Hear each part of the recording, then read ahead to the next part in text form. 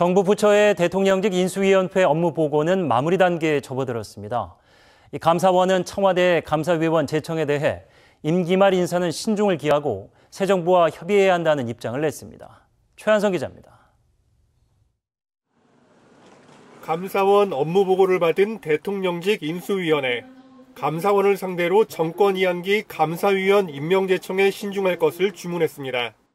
감사원도 현 정부가 임명제청권을 행사하는 것이 적절한지 의문이라는 입장을 밝혔다고 인수위는 전했습니다. 현 정부와 새 정부가 협의해 제청권을 행사하는 것이 적절하다는 의견을 냈다는 겁니다. 정권 이양기 현 시점에서 제청권이 행사되는 것은 바람직하지 않다라는 의견을 감사원 측이 갖고 있다라는 의미입니다. 폐지 위기에 몰린 여성가족부도 인수위에 부처 현안과 윤당선인 공약 이행 계획을 보고했습니다. 쟁점은 여가부를 어떻게 개편하느냐인데 부처 폐지에 대한 당선인의 의지가 확고한 만큼 복수의 이행 방안을 마련하겠다는 게 인수위의 방침입니다.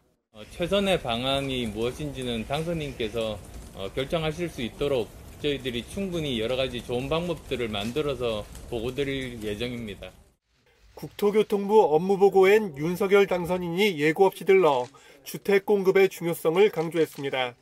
공급 확대를 위해 부동산 규제 완화가 필요하다는 입장도 다시 한번 확인했습니다.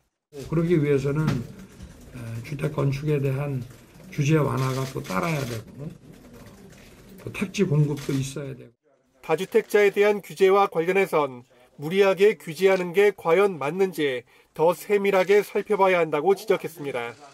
OBS 뉴스 최한송입니다.